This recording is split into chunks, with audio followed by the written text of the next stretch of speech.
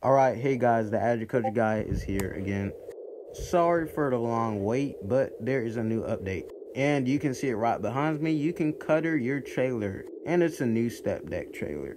I probably won't be doing any more showcasing videos due to there's another guy and his name is Camden does stuff so but I will show you guys later. Anyways, let's get right into it. So yeah, here's a new step deck trailer. And I'm really hoping for like putting any kind of load on there, hay bales, wood planks, and pallets and whatnot. And they even have ramps, new ramps. Never got the chance to show this off, but it's real cool. Anyways, I'm gonna just close those up, and that should be it, I think. Yep. Moving on with the next thing. You have aluminum rims, and also you can't cut aluminum trailers either because they're aluminum. Anyways, we're gonna get right into the cab over. Now, I already did a showcase, okay? I know, I know I'm a little bit late to this party, but you have turn signals and you can turn off your vehicle on and off, which is really nice of them. But I'm gonna show off the turn signals real quick.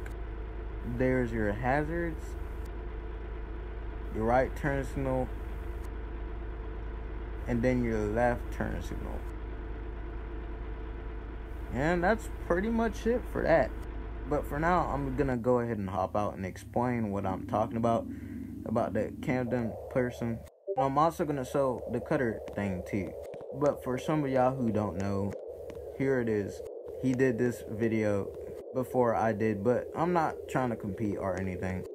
That's all I have to say, but his videos are pretty good. And now you know, that's the reason why I'm probably not going to be doing any more showcasing. But let me show you the cutter changing thing first. And yeah, see, you can cutter things now. You can make it a cutter of John Deere or whatever you need, which is pretty awesome. But I'm just going to go ahead and go outside and show you guys. And voila, you have your cuttered implement which is really cool. Thank you guys so much for having this. And I know a lot of people are happy about that. But anyways, I had to go and I'll see you guys later. This is the Agriculture Guy. Thank you guys for watching. God bless y'all. Keep on trucking and keep on farming like always. So bye.